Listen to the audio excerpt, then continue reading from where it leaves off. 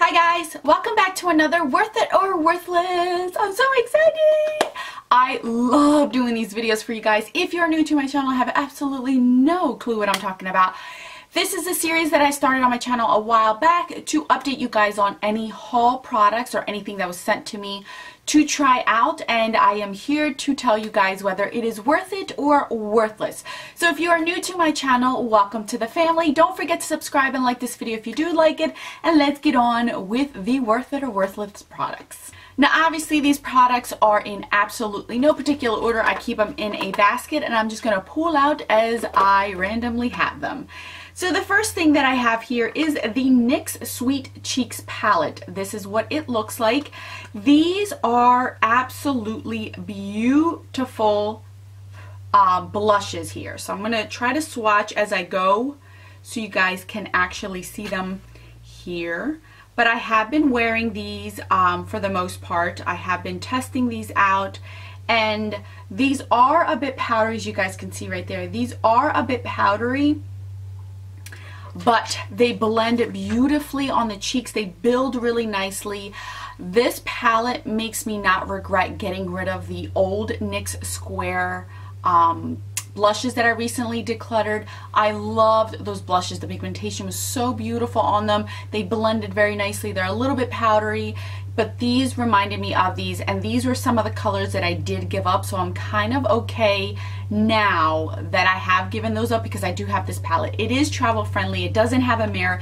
It's pretty inexpensive and I feel like you can get an all year round um, blush look with these. And I feel like it can go with a lot of different skin tones. You got your lighter colors here, you get your deeper colors here, and then you get your in-betweens. I have mixed and played with these. Like I've mixed these two together, I've mixed these two together.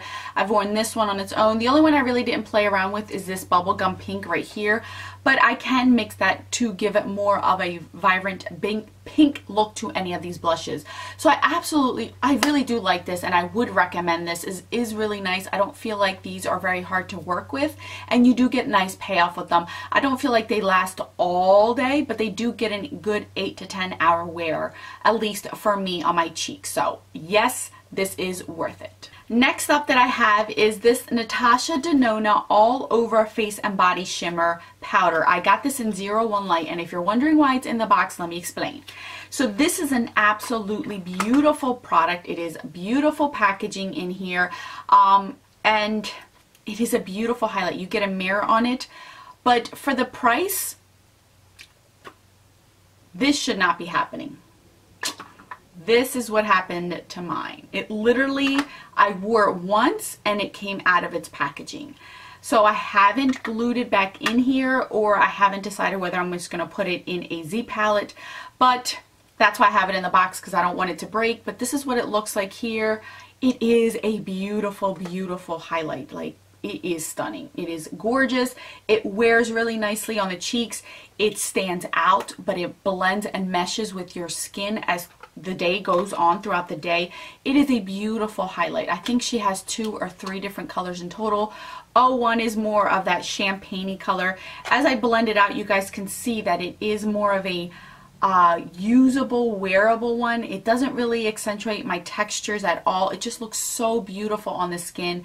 It's not super potent like the Becca highlighters, but it is still a highlight that will stand out on your cheeks. It is beautiful. If you are curious about these, I would recommend these. They're beautiful. They are a little bit pricey and these are dupable highlighters. So, but the formula is really, really nice, soft, buttery. It is not super powdery. It just blends really nice to the skin. So yes, I think this is worth it with the exception of the actual packaging breaking on it. So I do have to glue this back in here, but I do really like this one a lot. Next up I have is the Urban Decay blushes that I did recently haul, maybe like a few months ago. These, as soon as I purchased them um, off the 21 Days of Beauty, they started to go half off of Ulta's website, Macy's website, Urban Decay's website. So I'm not sure if they're discontinuing these, but these are so beautiful. I have two colors here, Video and Score. These are the ones that I have been wearing the most, especially this time of year. These blend like a dream on your cheeks. They are so buildable. You don't get a lot of powder kick up with these at all. Now that I swatched it because I dug my finger in there, but yes, these are absolutely beautiful. I really like these. They blend beautifully. They build really nicely on the cheeks. They don't accentuate any of my fine lines or any any texture that I have on my skin.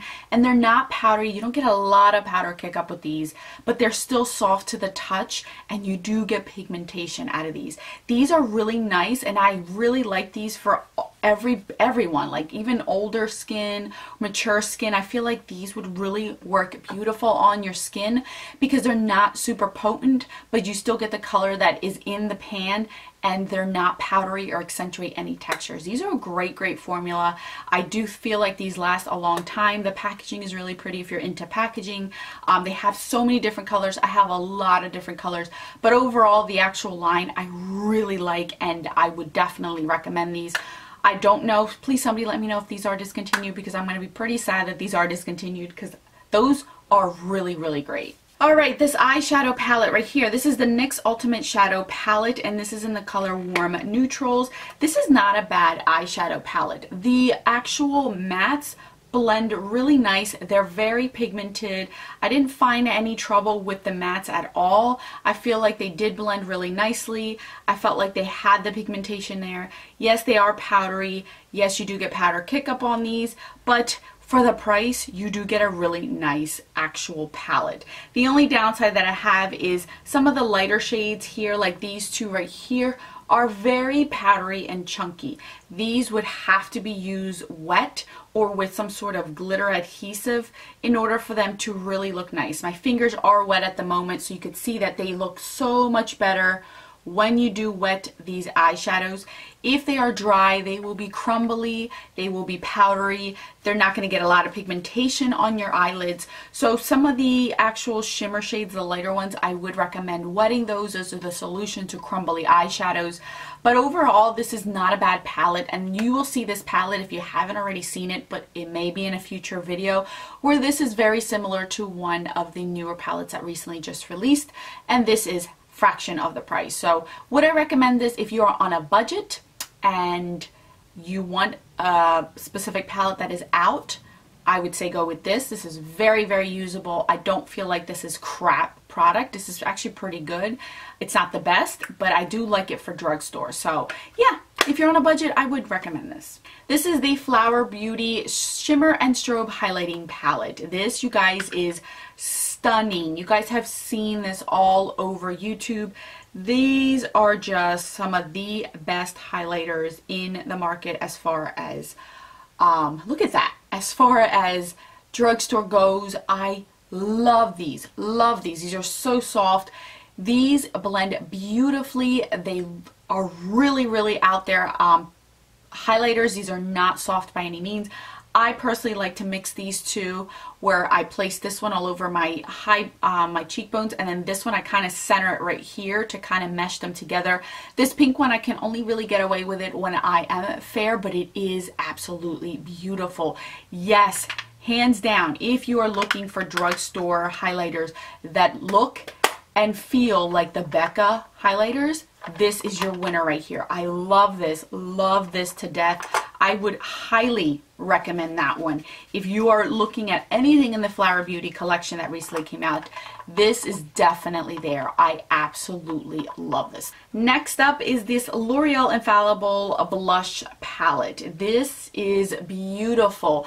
I have to be honest with you guys, compared to the Maybelline one that recently came out with the three blushes and then that highlighter, I like this one a hundred times more. The colors appeal to me more. These are more for the summertime, but these just they're just so pretty. They're not super powdery. They're more of a drier formula, but I kind of like that because I can really control the actual product. Look at this.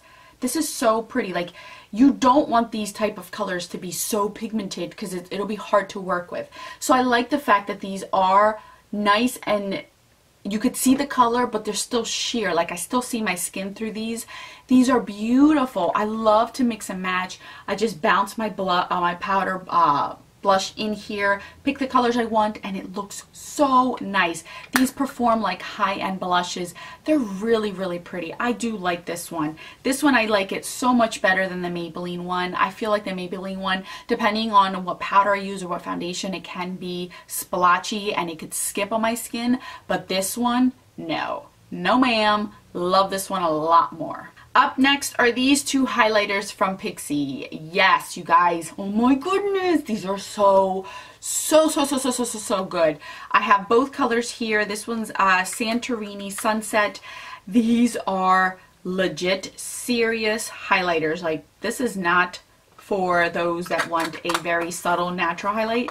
No, you do not want these if you like that type of um, highlight. So let me swatch these for you guys to share with you guys my thoughts.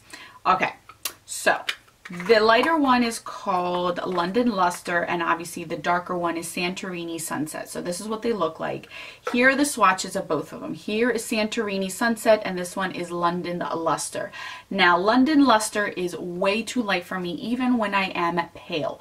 But again, the trick that I've been using is I'll use Santorini Sunset all over my highlighting area and then I'll grab the London Luster and place it right here. This is a beautiful inner corner highlight. It is stunning as an inner corner highlight. It really makes your eyes stand out. It really makes them wide and awake. That's why I like it. If you are fair skin and you cannot find a highlighter or you feel like the Becca Pearl is way too expensive for you, this is going to be your best friend. It is so, so, so beautiful. I love these. These are amazing, you guys. The drugstore has been stepping it up with their products, but then again, with that type of statement, you also got to consider the prices are not five, six dollars. These are, I believe, were like $16 a piece, but it is worth it. These are worth it. I will pay the $16 for these. They're beautiful, they're stunning. I think these were limited edition, but I still see them hanging around. I'm pretty sure Target's website still has them, so if you are interested in these, I would highly say these are worth it definitely this is the last blush that i have in here this is the Too Faced Papa Don't peach blush this is stunning this if you don't own it it is so beautiful it's just one of those blushes that is so it just goes so well with medium to deep skin tones. I feel like this, oh, this is just so pretty. Reminds me of a sunset. It's like that orangey peachy sunset. It does smell good. I think that this formula is beautiful. It blends really nice. It, it is a bit powdery, but you do get a beautiful color payoff. It does have some sort of sheen to it, so it's not completely matte at all. And it does give you that healthy summer peachy glow. That beautiful peachy blush that you uh, that's the type this is the type of blush I love to wear this time of year it's just beautiful I am wearing a peachy blush today but it's not this one it's something else that I have been infatuated with as well this is just beautiful this is a lot more pigmented a lot more deep peach than the one in the trio that I recently did in my last Worth It or Worthless this one definitely has more of a pigmentation than that one. That one I feel like it's a glow within type of peach a blush. This one is true peach, true blush type of formula. It is beautiful. If you have been on the fence about this one and you don't own many peach blushes, I feel like this one's really nice. It doesn't really, it doesn't have too much pink in it. So if you're more of that true peach type of person, it's going to look beautiful. If you have that olivey toned skin, oh my gosh, this would look stunning on you. I feel like this is a really nice blush for anybody who's medium to deep and I feel like the one in the trio is more for like medium to fair. I feel like that's how they I would market both of them, but this one, mm, I love it. I love it. The last three things are highlighters. I'll start out with this one. This is the Tarte Exposed Highlighter. I like this. I didn't buy it at first because I had heard somebody say that they didn't like it. It wasn't as potent. This is potent. This is legit potent. Like this is beautiful. The only downside that I do feel with this one is that it will accentuate your textures. It will accentuate anything you have on your skin because it is so potent. And you do see some shimmer in it, but I don't feel like it's glittery. Like it's not a glittery highlighter, but you do still get the glitter in there. Um, as it fades for me, it my oils make it melt more on my skin so I feel like it looks even better throughout the day than when I first apply it because it doesn't really look like it's a uh, I physically put a highlighter on. Because I have oily skin, things tend to kind of melt into my skin a lot better and that's why I, I love my oily skin in that way. Um, so this one does look better throughout the day for me. I do like it. I don't feel like this is going to be for everyone. This is not a subtle highlight. This does have glitter flexes in it. I don't feel like they fell all over my face either. So um, I would say uh, I wouldn't recommend this for everyone. If you like this type of highlighter, if you like it to be potent, stand out, um, really nice and a gold undertone. See how that looks? It doesn't really, you can't really see the glitter in it, but in person you can see it.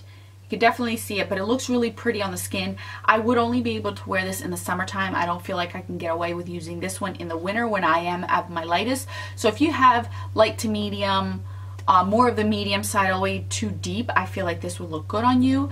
But if you have fair to light skin, not so much. So that's my thought on it. So I'm on the fence with it depending on who gets it, but I personally like it. I, I feel like it's a really nice highlighter. Last two things are from NARS. The first one is the NARS Hot Sand Highlighter. So this one is so beautiful. I know quite a few of you had mentioned to me what my thoughts were on this. This is not for medium to deep skin tone at all. Like right now, I cannot wear this. This will look too ashy on my skin. It'll really stand out. It'll look way too white based for my skin tone right now that I am medium toned. This is beautiful for light to fair skin. This has a really beautiful subtle peach undertone to it, but it doesn't look so peach on the skin. NARS really has beautiful highlighters, beautiful powder products, so this does not accentuate your textures, does not accentuate anything on your skin. It looks like a beautiful glow on your cheeks. It blends beautifully, it applies really nicely, it has absolutely no glitter, no chunks of anything. It's just a really nice glow within. It reminds me of the Laura Geller Matte Baked Highlighter reminds me of it but just more of a subtle undertone to it. It's um, it doesn't look super peach either on the skin but you can tell that it's not champagne it's beautiful. It is stunning. I really liked it. Unfortunately right now i can't use it. That's why i haven't been using it but it is a beautiful highlight. I really really like this one a lot. I'm happy that i got it um, because i wouldn't have like Looking at it in the pan, it looks like nothing, but when you put it on your cheeks, it is a very, very nice highlight. Last but not least is this NARS uh, Blanc de Sable Highlighting Palette. I'm sure I'm saying that wrong, but oh well. This is beautiful. This is a little bit more of a um, highlighter. It's a the Gelée formula, so it, it's more potent than the Hot Sand one is.